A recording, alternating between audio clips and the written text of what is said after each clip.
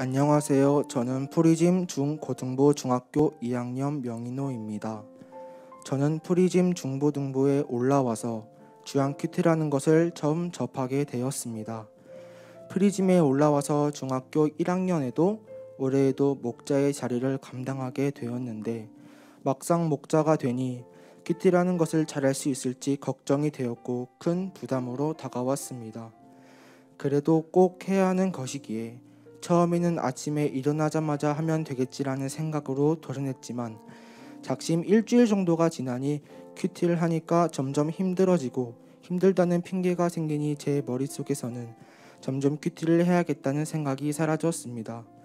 그렇게 저는 큐티와 멀어짐은 물론 저의 삶도 게을러지기 시작했습니다. 그렇게 지내다가 문득 제 자신이 점점 게을러지고 하나님과 멀어진다는 생각이 들기 시작했음에도 피곤하다는 이유로 나중에 하자라고 스스로 말하며 큐티를 자꾸 밀쳐냈습니다. 그렇게 하다 보니 아침의 시작이 말씀이 아닌 게임이 되거나 잠꼬대가 심해 잠만 자게 되었고 주어진 하루를 제 마음대로 의미 없이 보냈습니다. 그러다가 하나님의 말씀을 가까이 하지 않고 그나마 큐티마저도 하지 못했을 때에 그때 나는 정말 게으르고 형편없 었다는 것을 깨달으며 저의 삶이 하나님 앞에서 진심으로 부끄러워지기 시작했습니다. 큐티 하나 안 한다고 이렇게 삶의 게으름이 게으르게 되는 게 너무 이상하면서도 마음이 점점 힘들어져 다시 큐티를 시작하는 계기가 되었습니다. 큐티를 다시 시작하고 나서는 거의 매일 마음이 편해지고 뿌듯해짐을 느꼈습니다. 또한 부모님께나 아니면 친구들에게나 더 고운 말을 하게 되고 더 배려해야지라는 선한 마음이 생겨났고 저의 환경을 하나님께 감사하게 되었습니다. 말씀을 가볍게 여기던 저가 큐트를 통해 하나님이 주시는 말씀을 붙잡고 기도하게 되니 저의 삶은 점점 하나님께로 가까이 나아가는 것 같았습니다.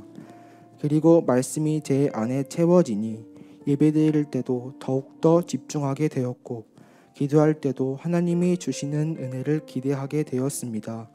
그로 인해 저는 요즘 오직 말씀이 저를 선한 길로 이끌고 저의 삶을 채워준다는 것을 직접 체험하고 있습니다.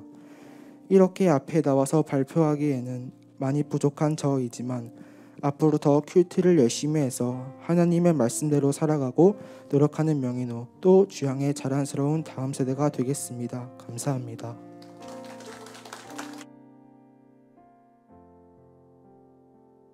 네, 어, 우리 인호가 멋지게 어, 해주 어, 간증을 해줬는데 우리 인호에게 큰 박수. 어, 인호야 잠깐만. 어, 네, 우리 목사님께서 축복기도 해주실 거예요.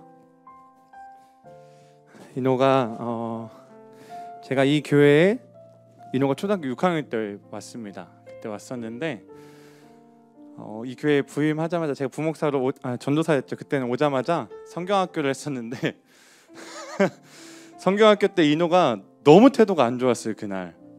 그래서 제가 시작하자마자 명인호와 아이들이라고 불리던 그때 당시 아이들에게 해선 안 된 말을 하며 혼냈습니다.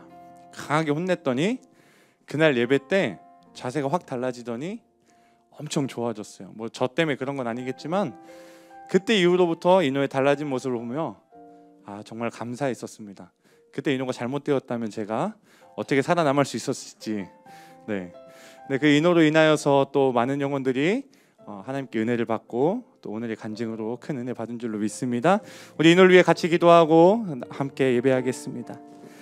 살아 역사하신 하나님 아버지 감사합니다. 오늘도 한 영혼을 통하여 귀한 은혜의 간증을 듣게 하시고 나누게 하시고 그 은혜 현장 가운데 우리 함께하게 하시니 감사합니다. 오늘 우리에게 놀라운 은혜를 허락하여 주셨사오니 우리 이 영혼을 하나님께서 더욱더 붙들어 주셔서 하나님의 말씀과 기도로 거룩하여지게 하여 주시옵소서. 더욱더 하나님께 빛이 되게 하시고 비전을 발견하여 앞길 가운데 오직 하나님의 영광만 나타나는 귀한 영혼 되게 하여 주시옵소서. 함께 은혜를 나눈 우리 주양의 모든 성도들에게도 동일한 은혜 허락하여 주시고 동일한 도전으로 주님께 나아가게 하여 주시옵소서 오늘도 주님께서 함께 하심을 감사드리며 사랑 많으신 예수 그리스도의 이름으로 기도하옵나이다. 아멘.